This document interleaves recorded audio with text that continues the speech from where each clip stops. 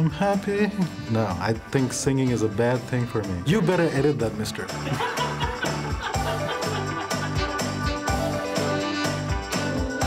I paint, uh, I write, I do improv comedy, which basically what it means is I make a fool of myself when I get on stage and people get to laugh. I grew up uh, liking Whose Line Is It Anyway a lot. It'll be the happy song, Pharrell's happy song. I would be the bald eagle. It's the most important animal of United States. It's so beautiful, and it's illegal to shoot eagles in United States. So please make me a really special eagle. Uh, I would rather have a pause button. There's really no point going back. I'm sure I'll mess it up again.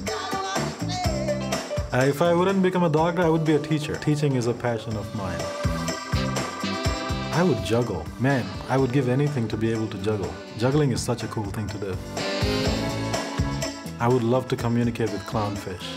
That would be funny. Can you imagine talking to a clownfish and it's the most boring fish ever? I'd be like, dude, you're a clown. Just tell a joke.